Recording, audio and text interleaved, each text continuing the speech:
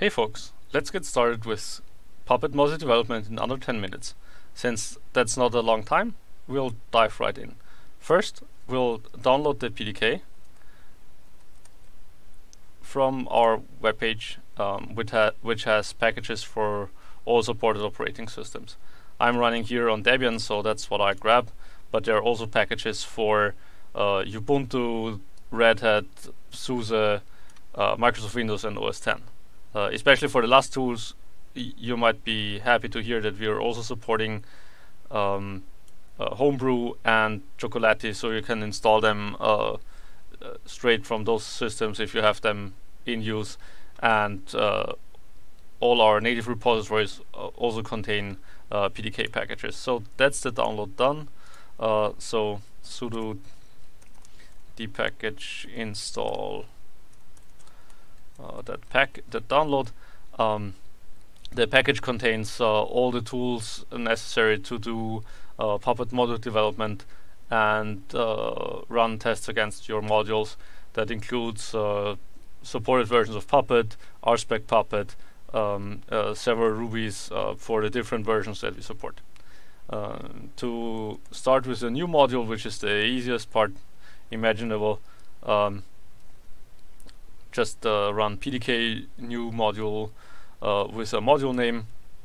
The first question here is for your Forge username if you want to upload it later to the Forge and open sources, which would of course be very awesome. Um, you can just skip that question if you don't care. Uh, a author for uh, traceability purposes and, and copyright assignment, and finally uh, a open source license uh, that you want to use for your module. Uh, if you're writing a module just for your company, use proprietary um, to mark the module as, as something belonging solely to the company creating it. Um, finally, the fourth question here is the operating system supported, and we'll start out with just uh, the common Linux systems here, um, and recreate the module, and there it is. To edit the new module, I'm using the excellent uh, Puppet plugin for Visual Studio uh, done by James Pogran and his uh, colleagues over at the uh, Windows team. Uh, let's install that from the marketplace here with two clicks. The only thing we currently need to fix is in the install in the settings uh, change the install type from agent um, to PDK now that the plugin also supports that um, and we can go look at our module which is currently quite empty. There are no files, no manifests, uh, because it was just created. Um, running um, Puppet PDK PDK new class um, to create a new class. We'll keep it simple and just call it NTP. Uh, it runs. It creates the initpp with some doc commands and an empty class, and it creates the initial files, the initial unit tests um, that on each supported OS that was selected previously, um, it is expected that the NTP class is uh, compiling. Um, I'll add a quick test here that it contain it's expected to contain a service called NTP save and uh, PDK test uh, unit uh, will run the command uh, using the currently uh, latest, as of time of this recording, the current latest Puppet version with Puppet 553 and on the appropriate Ruby version that is usually shipped with that version of the Puppet agent. Um, and uh, as we expected, um, or as can be expected, uh, the service NTP resource is not available on any of the um, supported uh, operating systems of this module. Um, so we need to go in here and using the autocomplete uh, we can add the service here NTP. Uh, also nifty is uh, hovering over it uh, brings you up the documentation for this property. So here you can say uh, it needs to be running and not present uh, and we need to say enable true save that and we can go back to the console here run the tests again and hopefully see them pass. Uh, while the unit tests are running, uh, I can also talk a little bit about uh, validation. in starting out like this, that's uh, not much of an issue. But on a bigger project where many people are contributing, having a sound uh, coding style uh, is always very helpful, and PDK validate can be used to enforce that and also to reformat your code to match that uh, meanwhile, the tests have finished.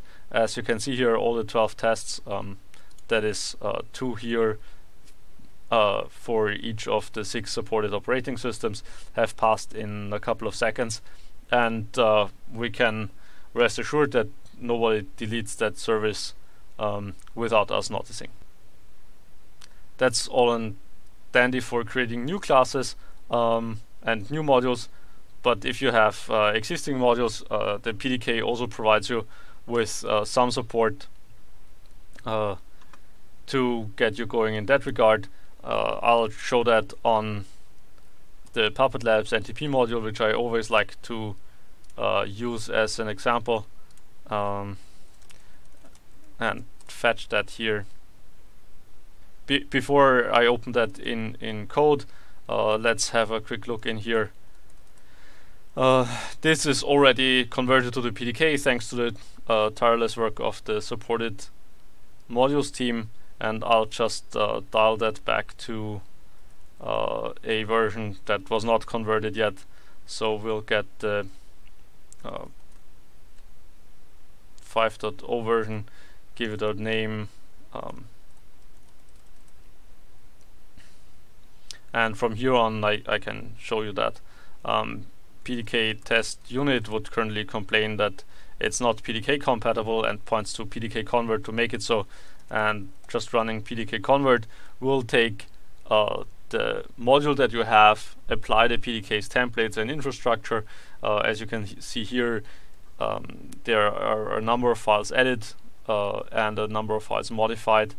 Um, there is also a convert report text that you can look at if you want to see the details. In my case, since this module is coming from Git, I can just apply those changes and with uh, git diff have also a nice overview of what's changing here.